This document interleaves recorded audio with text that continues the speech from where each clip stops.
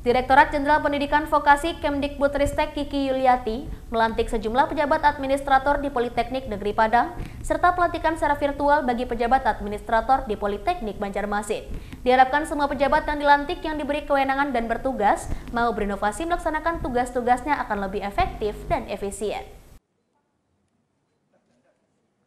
Pelantikan pejabat administrator yang merupakan kewenangan menteri yang dilimpahkan ke Dirjen Pendidikan Vokasi Kemdikbudristek, Kiki Yuliati, melantik para pejabat administrator yang SK-nya dari menteri untuk bertugas di Politeknik Negeri Padang.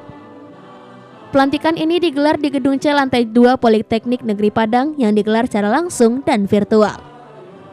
Pejabat yang akan dilantik tersebut adalah kepala bagian dan subbagian dari Politeknik Negeri Padang dan Politeknik Negeri Banjarmasin.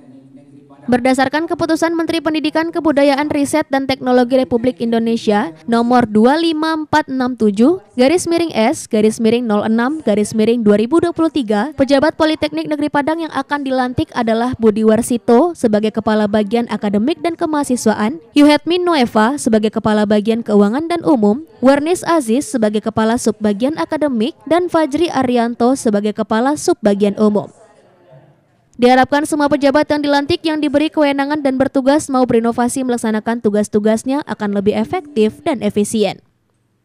Serta tidak selalu harus melakukan apa yang selama ini biasa dilakukan, namun juga bisa mencari hal-hal yang inovatif dengan yang bagus yang mana lebih efektif dan efisien.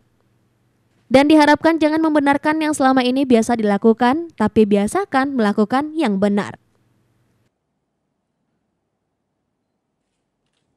Kami dari kementerian itu sangat berharap bahwa semua pejabat yang dilantik, yang diberi kewenangan uh, dan diberi tugas itu mau uh, berinovasi, melaksanakan tugas-tugasnya agar lebih efektif, lebih efisien.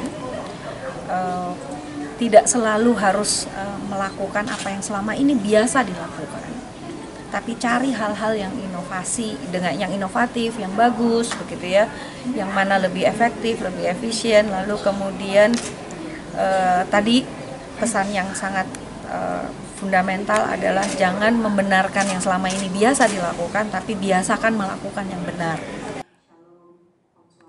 Dari Padang, Sumatera Barat, Budi Sunandar, iNews melaporkan.